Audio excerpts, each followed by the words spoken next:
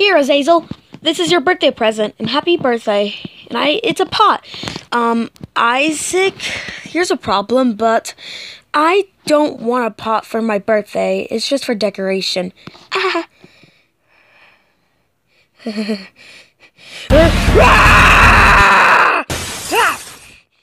Ah. If you don't want my birthday present that I gave to you, I'll tell you how much it is. It was over $2,000. Like, that's insane. Because you're just a little spoiled brat that never wants nothing that I gave to you, you brat. Brat!